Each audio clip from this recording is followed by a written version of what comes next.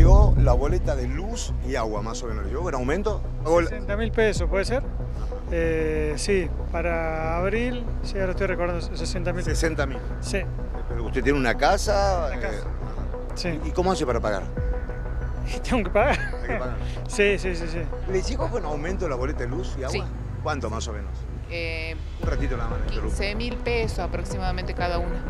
Pero la diferencia a ser como 8 mil pesos. O sea, entre el mes pasado y este mes. Claro. Pero en total, ¿cuánto paga? Cada boleto es 15 mil. 15 mil. ¿Cuánto estaba pagando? 8 mil aproximadamente. 8 mil. Sí. Es una, una casa familiar, digamos. Somos dos nomás. Lo que sí, se usó mucho el ventilador, eh, estuvo prendido todo el tiempo. Y es que yo creo que era previsible.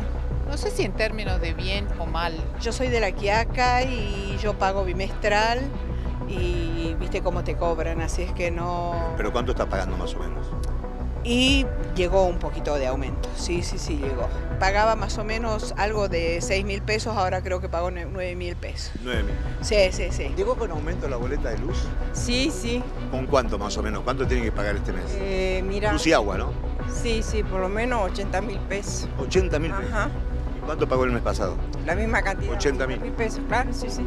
¿Es una casa familiar, común y corriente? Sí, sí, sí, familiar. ¿Y cómo hace para poder llegar a pagar justamente la boleta? Bueno, este, esto está un poco medio importante porque colaboran todos en la casa, pero de ahí de aquellos que no tienen quien les colabore, eso sí es feo. No me fijé todavía, pero creo que sí vino con aumento. ¿Cuánto pagaste el mes pasado? 20 mil. 20 mil. ¿Cuánto le llegó?